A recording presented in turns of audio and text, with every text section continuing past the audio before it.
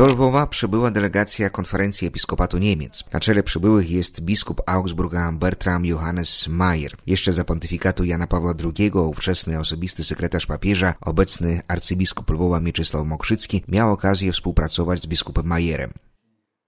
Biskup Majer przyjechał odwiedzić nasz kościół i naszą ojczyznę Ukrainę i jestem bardzo wdzięczny za tą solidarną wizytę i za jej wsparcie. Przede wszystkim dziękuję za modlitwę, za pomoc humanitarną i dziękuję za przyjaźń, jaka narodziła się podczas naszej pracy z Janem Pawłem II. Jego eminencja biskup Augsburga w czasie pobytu na Ukrainie odwiedził już ośrodki dla przesiedleńców wewnętrznych w Soloncji i Sokilnykach, którymi opiekuje się archidiecezja lwowska Kościoła Rzymskokatolickiego w Ukrainie. 2 czerwca biskup Majer spotkał się z księżmi i osobami konsekrowanymi archidiecezji lwowskiej podczas kongregacji duchowieństwa a w najbliższą sobotę jego eminencja Bertram Mayer dokonał konsekracji kamienia węgielnego nowego kościoła w Radechowie, którego budowę zgodzili się wspierać finansowo katolicy z Niemiec, a mianowicie z diecezji augsburskiej.